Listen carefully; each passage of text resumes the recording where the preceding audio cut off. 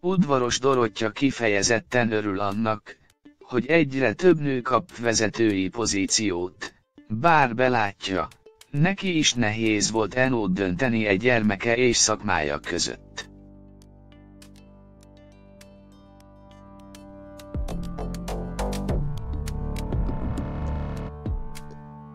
Az elmúlt években ugrásszerűen megnőtt a női vezetők száma, egyre több helyen láthatunk hölgyeket magas és vezetői pozícióban, aminek udvaros Dorottya is nagyon örül.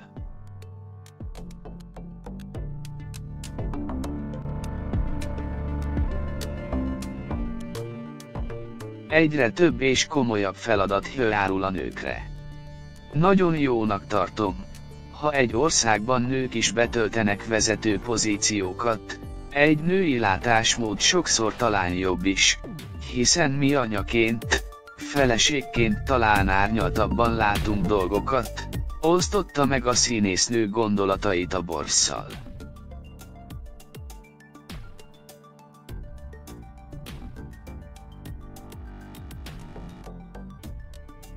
Gyakori dölemlő, hogy egy nő a családot vagy a karriert válassza inkább.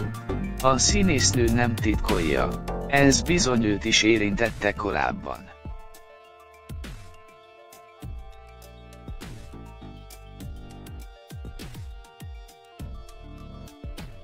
Amikor megszületett a ma már 33 éves fia, egy évre otthagyta a színházat, film szerepet sem vállalt, csak Mátéra szeretett volna koncentrálni.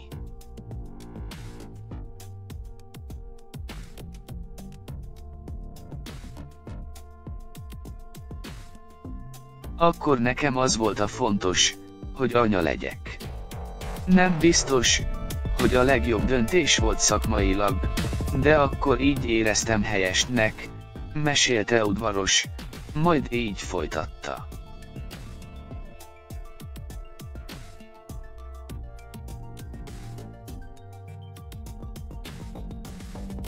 Amikor az ember anyává válik, akkor nagy kérdőjelek vannak benne, csinálom-e ugyanazzal a szenvedéllyel a szakmámat, mint előtte.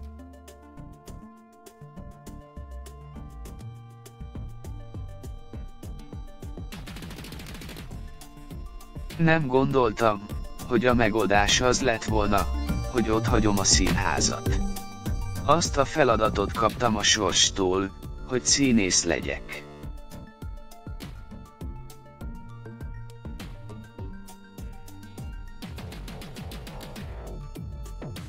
Sokszor éreztem úgy, nincs szabad estém, nem tudtam mesélni a fiamnak. Legtöbbször mire hazaértem, már aludt.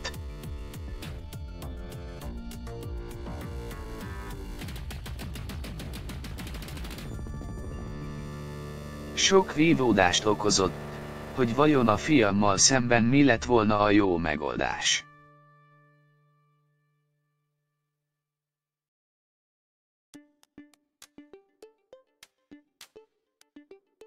A színésznő azóta is, én máron több évtizede halmozza a sikereket a világot jelentő deszkákon. Legutóbb a Nemzeti Színházban bemutatott Megyeskertben láthattuk, mint Ranyevszkaja.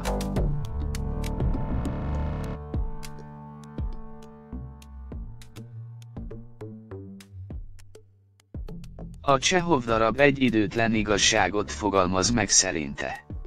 A boldogság nincs ingyen, azért meg kell dolgozni.